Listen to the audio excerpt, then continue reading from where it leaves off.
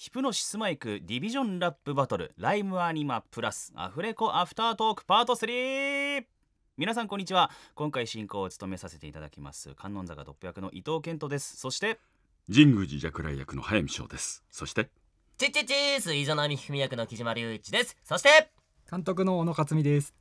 はい。お願いします、はいお願いします。お願いします。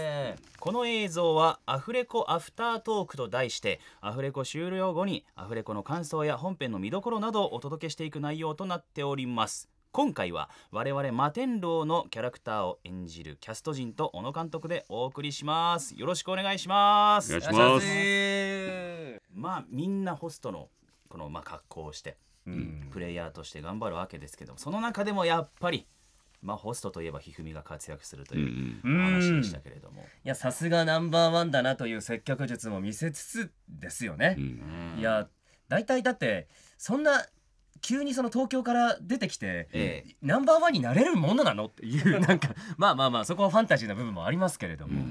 いやさすがひふみやなという、うん。さすがですうね、んかっこいいですよ。まああだけどね、のねゲストキャラクターも、まあ、ひふみはこうどこでもナンバーワンですけれども、うんどこでもナンバーワン。いろんなキャラクターが出てきますね、名古屋のナンバーワン。はい。取締役、はい。支配人プロデューサー部長と、はい。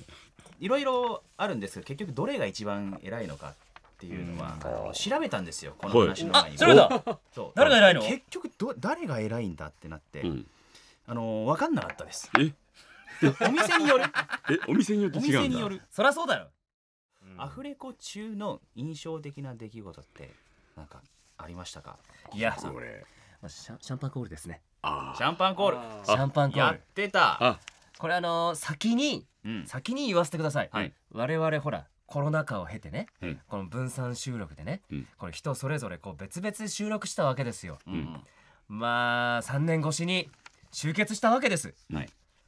全然みんなと一緒に喋るセリフ合わないんだ。シャンパンコールが。シャンパンコールが合わないんだ全然。結構あの時って撮れましたよねまあ天狼以外の皆さんとも。そうなんです、うんうんうんねうん。あのシャンパンコールもみんなでとそう収録することができて。そうこのシャンパンコール夕組はみんないましたよね、い。たいたいた多分。そうそうそう。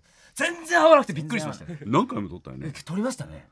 でもなんかめったにないことなんで、うん。なんか嬉しかったですけどね。シャンパンコールなんてすることないですかこらね。のメンバーのシャンパンコールってなかなか聞けないなと思いますよねいいなって思いながら僕は見てました。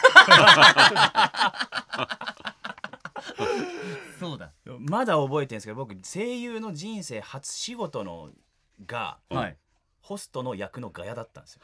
だからずっとシャンパンコールやってて。えそれはアニメ？いやドラマ CD あ。あじゃあ10年ぶりぐらいに。そうだからちょっと懐かしいって思いなるほど。